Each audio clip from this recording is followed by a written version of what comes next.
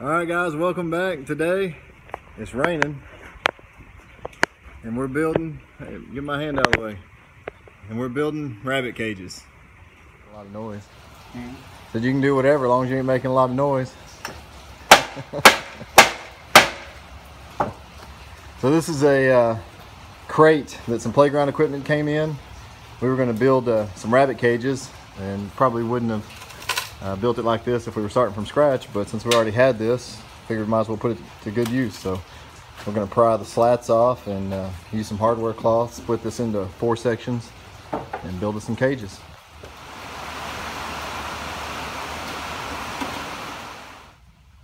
All right, so we're making some progress. We got uh, the wire on the bottom, got it mostly framed up, hardware cloth uh, for the bottom, getting ready to uh, in just a minute, we'll be ready to wrap uh, the back and sides and the interior. Going to have four different cages, two and two, and uh, make our doors.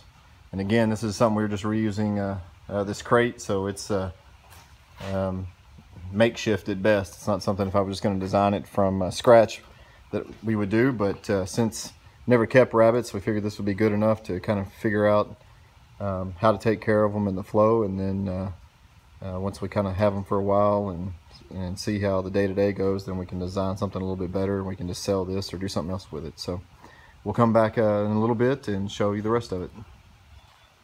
More in the background. Not quite finished yet. We're going to call this video part one. Uh, but uh, got pretty much everything but the doors. And we're going to build a stand uh, for it to set on. It's just sitting on some sawhorses right now but again we just took this old uh, not old but this crate that the playground equipment was shipped in took off some slats put the wire in the bottom still got to do some stapling to get it all stapled down. Here's the back. Taller than they probably need to be but again that was the size of what we had so pretty much spent nothing on this except for uh, I had one roll of hardware cloth and I had to buy two more rolls so say 40 bucks 60 bucks if you count the roll I already had and a box of staples that I maybe used half of that I already had. And uh, the extra one, bu one buys that uh, we needed came off some other crates uh, that our TVs were shipped in when we moved.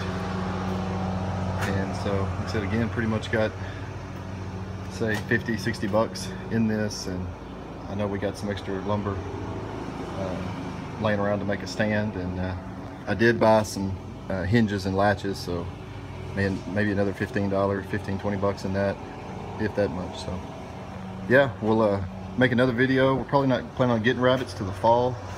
Really don't want to add any more animals uh, during the summer while it's hot, but uh, yeah, in the fall, we'll at some point we'll get this finished up. We're going to put it out there in the chicken coop, in the main part outside the coop where the chickens are, in the, in the covered part. That way the uh, the manure rabbit pellets can fall down and uh, the chickens can scratch through them for any worms or bugs that happen to get in there and then we can uh, shovel it out and take it to the garden. So, all right, hope you like this one. Don't forget to like and subscribe and uh, we'll catch you on the next one.